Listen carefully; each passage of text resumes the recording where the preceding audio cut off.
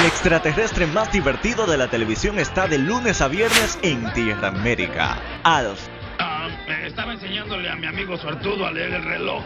Enséñale a Willy cómo.